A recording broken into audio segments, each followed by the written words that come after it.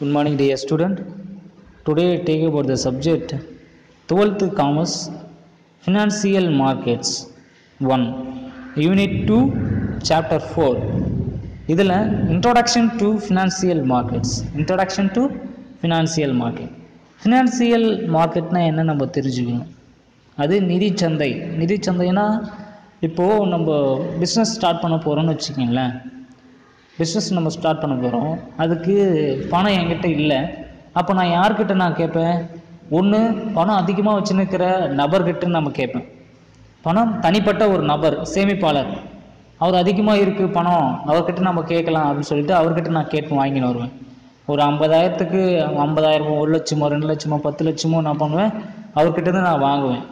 எதுக்கு வாங்குவேன்னா ஒரு இன்ட்ரெஸ்ட்டுக்கு தான் வாங்க முடியும். சும்மாலாம் கொடுக்க மாட்டார். ஸோ இன்ட்ரெஸ்ட்டுக்கு நான் வாங்கிக்கிறேன் கடனுக்கு நான் வட்டிக்கு நான் வாங்கிறேன். அப்போது வட்டிக்கு நான் இங்கே வாங்கிக்கிறேன் இல்லை நான் இங்கே வட்டி அதிகமாகுது. அதனால் என்ன பண்ணுறேன் நான் பேங்க்குக்கு நான் போயிட்டு வாங்குறேன். ஸோ நான் பேங்க்குக்கு போயிட்டு நான் வந்து என்னுடைய டாக்குமெண்ட்ஸ் எல்லாம் இருக்குது பார்த்தீங்களா பத்திரம்.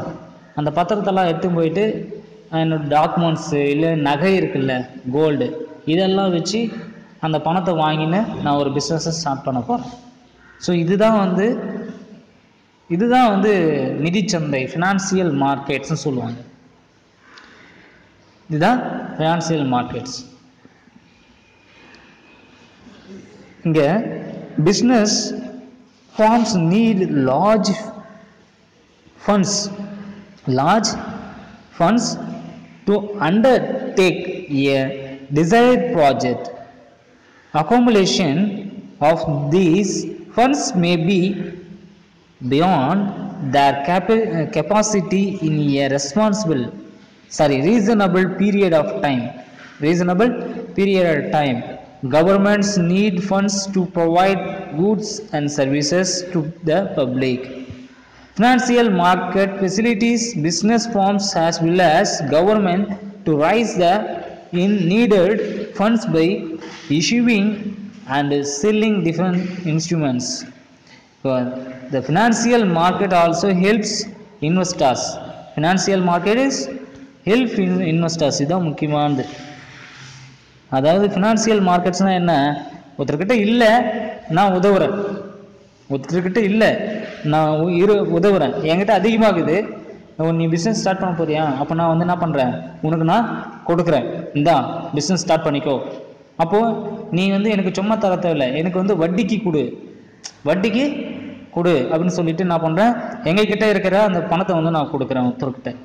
ஸோ அதுதான் வந்து என்ன சொல்கிறாங்கன்னா financial market also helps investor to facilitate facilitate them to invest surplus பார்த்தீங்களா டு இன்வெஸ்ட் சப்ளஸ் ஃபண்ட்ஸ் எங்கிட்ட உபரியாக இருக்கிற ஃபண்டை and to earn to and earn a return எனக்கு லாபமாக கொடுக்கும் எனக்கு லாபமாக கொடுப்பாங்க.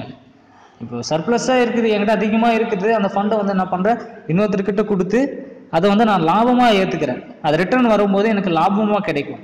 To A money earn earn earn a return with a help of financial markets with a help of financial market and kinds of business என்னென்ன kinds of business இருக்குது அப்படின்னா government and the financial institutions can get financial assistance in terms of both short term finance, finance and long term finance இப்போ இது குறைந்த கால நிதிச்சந்தை அந்த அதிக என்னது நீதி நீண்ட கால நிதி அப்படின்னு சொல்லுவாங்க. குறைந்த கால நிதி நீண்ட கால நிதி அப்படின்னு சொல்லலாம். ஓகேங்களா? ஸோ இதுதான் வந்து பார்த்தீங்கன்னா ஃபார் எக்ஸாம்பிள் நீங்கள் கொடுத்துருக்காங்க பாருங்கள் financial institutions financial financial institutions regulators financial institutions and financial market and financial service the unorganised sectors இதெல்லாம் பார்த்தீங்கன்னா அன்ஆர்கனைஸ் செக்டார்ஸில் நெக்ஸ்ட்டு வந்து அன்ஆர்கனைஸ் செக்டார்ஸில் என்ன சொல்லியிருக்காங்கன்னா மணி லெண்டர் மணி லெண்டர் கடன் வாங்குபவர். இண்டிஜியஸஸ் பேங்கர் என்னது? இண்டிஜியஸ் பேங்கர்ஸ் அதாவது நாட்டுப்புற வங்கியர்னு சொல்லுவாங்க. ஆமாம் இண்டிஜியஸ் பேங்கர்ஸ் எக்ஸெட்ரா அப்போது என்ன பண்ணுறாங்கன்னா இதை வந்து ரெண்டு விதமாக பிரிக்கிறாங்க. இந்தி நிதிமுறை அதாவது இந்திய இந்திய நிதிமுறைன்னு சொல்லிட்டு ரெண்டு விதமாக பிரிக்காங்க அதாவது இந்தியன் ஃபினான்சியல் சிஸ்டம் அது இந்தியன் ஃபினான்சியல் சிஸ்டத்தில் ரெண்டு விதமாக பிரிக்கிறாங்க. ஒன்று வந்து ஃபினான்சியல் இந்தியன் ஃபினான்சியல் சிஸ்டத்தில் ரெண்டு விதமாக பிரிக்கிறாங்க. ஒன்று பார்த்தீங்கன்னா ஆர்கனைஸ் இன்டு ஆர்கனைஸ் நெக்ஸ்ட் பார்த்தீங்கன்னா organised sectors and unorganised sectors organised sectors and unorganised sectors. Organised sectors and unorganised sectors ஓகேங்களா இது ரெண்டு விதமாக பிரித்து இதை வந்து தனிப்படுத்துகிறாங்க ஓகேங்களா உங்களுக்கு புரியும்னு நினைக்கிறேன். ஃபஸ்ட்டு ஃபினான்ஸ்னால் என்ன? ஃபினான்ஸ்னால் என்ன? ஒரு ஃபினான்ஸ்னால் உபரியாக சர்ப்ளஸாக இருக்கிற அமௌண்ட்டை வந்து இன்னொருத்தர்கிட்ட கொடுத்து அவங்க பிஸ்னஸ் ரன் பண்ணுறதுக்காக நம்ம கொடுக்கக்கூடிய சர்ப்ளஸ் மணி ஓகேங்களா? இதுதான் வந்து நிதி சார்ந்த ஒரு துறை. நிதி நிதி நிதி சந்தைன்னு சொல்லுவாங்க இதை. இப்போ இங்கே ஃபினான்சியல் சிஸ்டத்தில் பார்க்கும்போது இங்கே பாருங்க ரெகுலேட்டர்ஸ் ஃபஸ்ட்டு பார்த்தீங்கன்னா regulators and financial institutions and financial markets and financial service இது வந்து பார்த்தீங்கன்னா நாலு விதமாக அவங்க வந்து ஆர்கனைஸ்டாக அதாவது அமைப்பு நிறுவனங்கள்லாம் வந்து இது செயல்படுத்தின்னு இருக்காங்க. ஆனால் அன்ஆர்கனைஸ் செக்டார்ஸில் இருக்காங்க பார்த்தீங்களா மணி லெண்டாஸ் கடன் வாங்குபவர். நெக்ஸ்ட் பார்த்தீங்கன்னா என்ன? நாட்டுப்புற வங்கியர்னு சொல்லுவாங்க. இண்டிஜியஸ் பேங்கர்ஸ் இண்டிஜியஸ் பேங்கர் அதாவது இண்டிவிஜுவல் பேங்கர்ஸ்னு கூட சொல்லலாம் அதை. ஓகேங்களா இதை பற்றி தான் நம்ம பார்க்க போகிறோம் நெக்ஸ்ட் வந்து meaning and definitions of financial market A market wherein financial institution, instruments such as financial claims, asset and uh, se- securities are traded in traded is known as a financial market. எந்த ஒரு சந்தை நிதி கோரல்கள் அதாவது நிதி கோரல்கள் ஆஹ், சொத்துக்கள் மற்றும் பத்திரங்கள் போன்ற நிதி கருவிகள் வியாபாரம் செய்கின்றதோ அது நிதிச்சந்தை எனப்படுகிறது. In another words financial market may be channels through which flow loan அதாவது loanable loanable funds directed from a surplus அதாவது suppliers who has and excess of asset towards toward a toward a demander who expenses experience a difficult of fund. அதாவது நிதி அளிப்பவர்களிடம் உள்ள உபரி சர்ப்ளஸாக இருக்கிற பார்த்தீங்களா?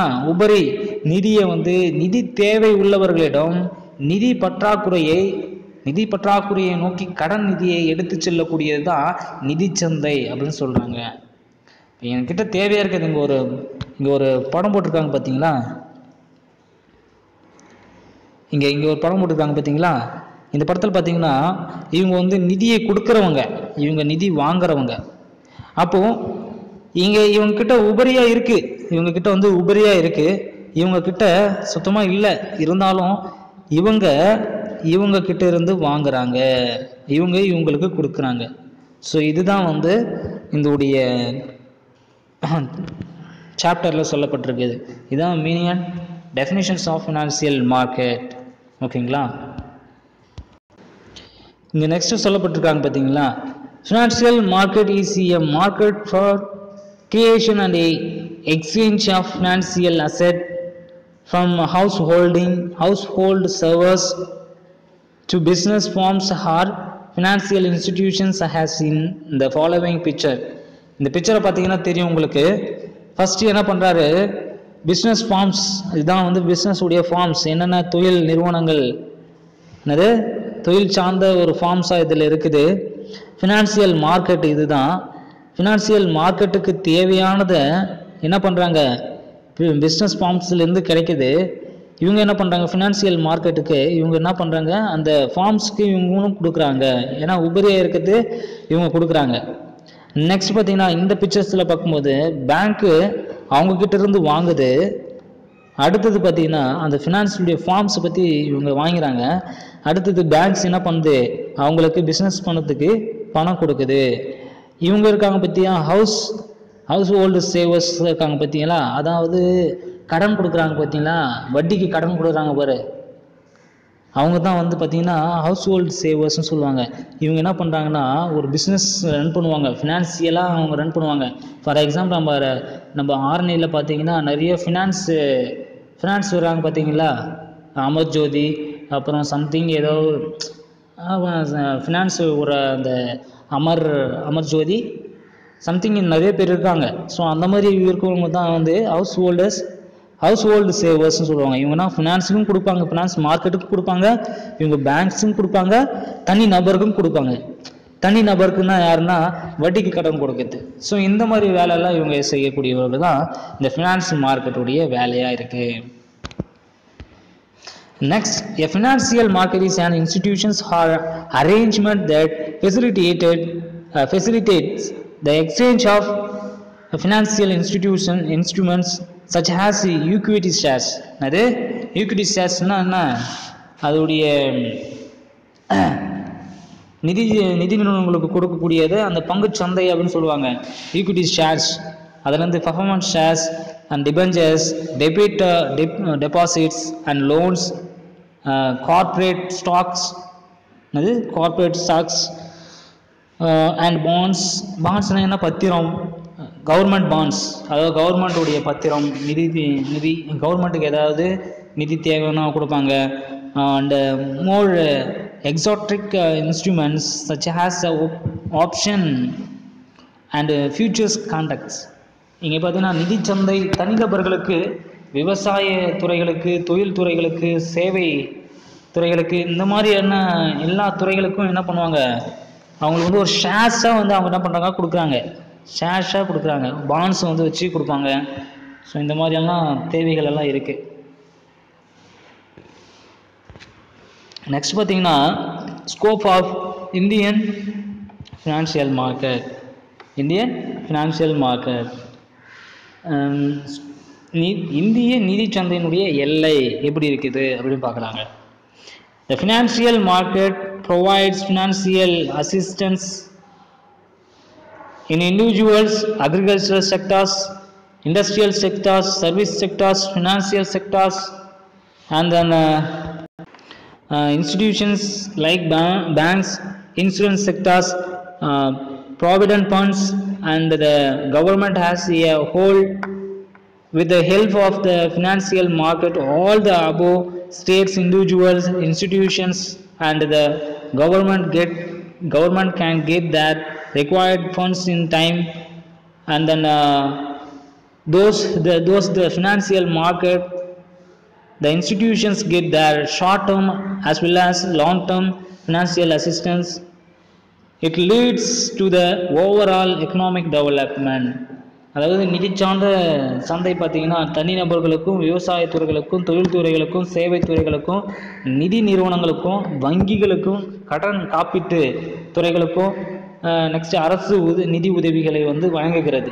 அரசுக்கு நிதி உதவிகள் வழங்கக்கூடியது தான் இந்த ஃபினான்சியல் மார்க்கெட் புரியுதுங்களா? இது வந்து பார்த்திங்கன்னா நிதிச்சந்தையின் மூலமாக குறுகிய கால குறுகிய காலம் அந்த நீண்ட காலம் உதவிகளை வந்து நிறுவனங்கள் பெறுகின்றன.